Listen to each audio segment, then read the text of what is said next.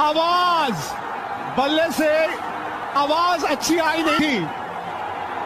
और इसी वजह से गेंद ऊँची ज़्यादा गई, उतनी दूर नहीं गई। वो जो मीठी